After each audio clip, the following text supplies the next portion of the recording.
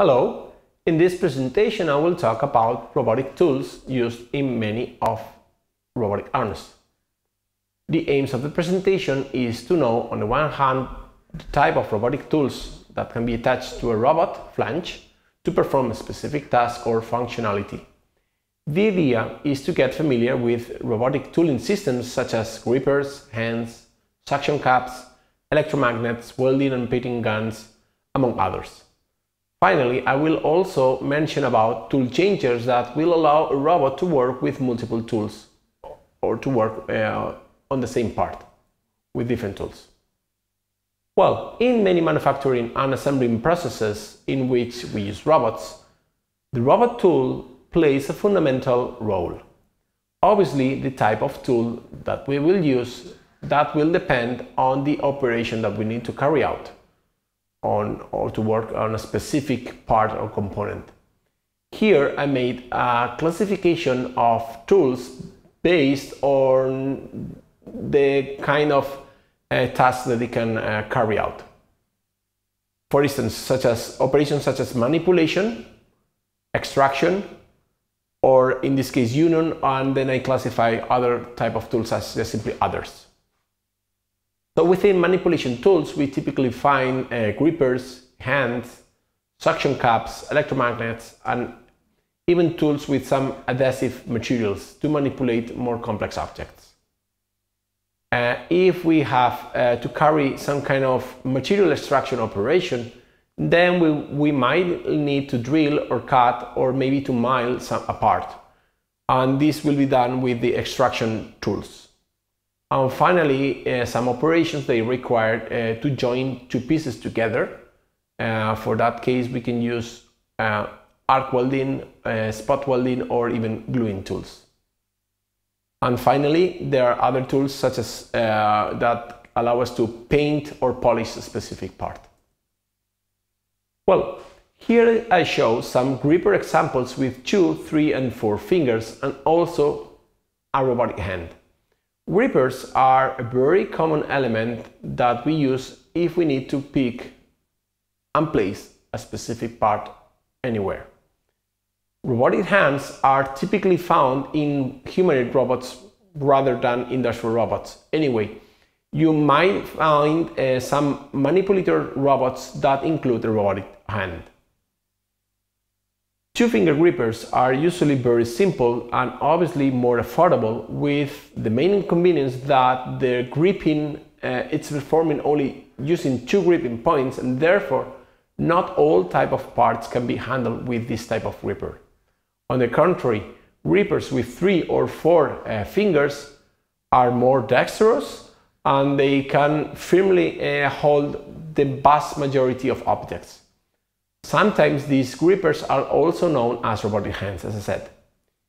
Obviously, the more, the more complex a gripper is, uh, the more flexible is too. But then we need to perform a, a more complex control or an, usually it's more expensive. How uh, to grip an object, uh, it's a well-known problem in robotics, but this is beyond the scope of this course in, uh, and obviously in this presentation. In most uh, cases, grippers include some force or contact sensors that sense the pressure that we exert to a specific part in order to avoid to damage it.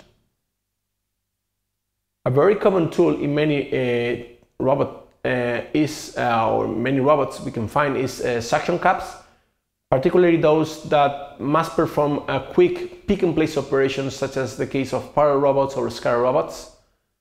Since um, if the part uh, or the part that we need to work with uh, allows it, then we can use this kind of uh, tool in order to uh, attack uh, the, let's say, the gripping from uh, the top this is uh, this is uh, because these tools uh, are based on the Venturi effect, and when desired, they generate an, a force that can be controlled with just a simple relay.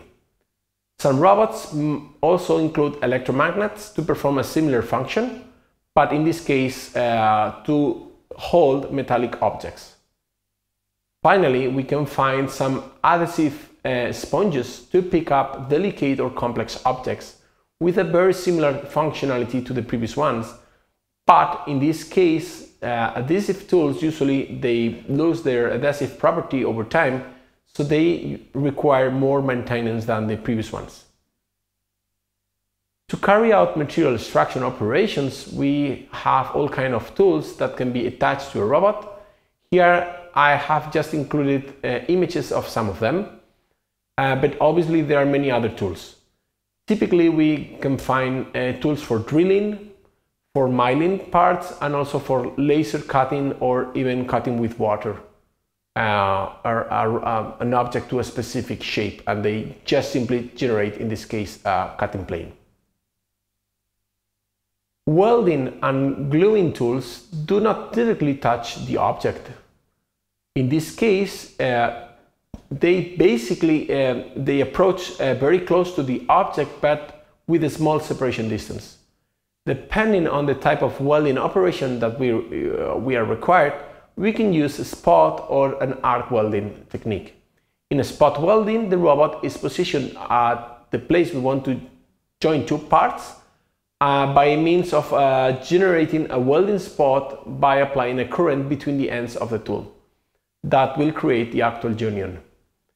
Uh, in arc welding, the robot generates a trajectory, usually generates a trajectory between the profile, the, the, the two parts that we want to join. Some robots uh, have tools that allow uh, to glue uh, the parts instead of welding the parts, as you can see here. Robots that uh, can be used for painting, and in this case they use paint spray guns um, they usually attack the, the part to, to paint at a certain distance uh, and they have a nozzle uh, depending on the size of this nozzle um, they will cover more area or not. Um, usually these kind of robots are covered by plastics uh, or with plastics uh, to avoid uh, small particles that are floating in the air to damage the robot. Uh, also, we can find some um, polishing uh, tools. Uh, for instance, uh, the one as, as the one that you can see here on the right. Um, this usually includes a sponge to smooth, uh, make it more compliant. So the forces that we exert to the, the part are um, softer. And usually these uh, kind of tools also include a force sensor. As you can see here on the top of the right image, this sensor is usually attached to the end effector and measures the force uh, that we exert to the part. Robots can be very versatile, but at the same time very expensive. In most of the manufacturing and assembling processes, we cannot afford to have multiple robots for each of the single operations that a specific part requires. And in addition, moving parts from one robot to another robot, it also uh, uh, or implies a significant additional cost. As a, let's say, for instance, we need to, uh, to use conveyors. So for this uh, reason, tool changers are used in robotics. They allow us to use multiple tools uh, in one single uh, robot using a tool warehouse. These tools can change or can be, can be um, interchange because we have a common interface for coupling different type of tools. And this uh, this tool coupling provides the energy and signal that the specific tool requires. In this case each robot manufacturer uh, has their specific uh, tool coupling and uh, they are not usually standardized. So which means that you have to use obviously uh, as well as the tool coupling and the robot coupling from the same manufacturer, obviously. And in this video uh, from Schunk Company, we can see an animation of a tool changer. As you can see, the system is modular and uh, the user can adapt it to their needs, providing various interfaces depending on the tool to be used. And specifically, the robot here uses a gripper uh, to pick apart and then changes the tool to perform some spot welding and then changes again uh, the gripper and so on. Uh, we can also see that is, you, we can use specific tools, let's say to hold a, a heavy beam, as you can see here. Well, in this presentation I have done a quick summary on robotic tools that we can find in many robotic arms. Thank you very much.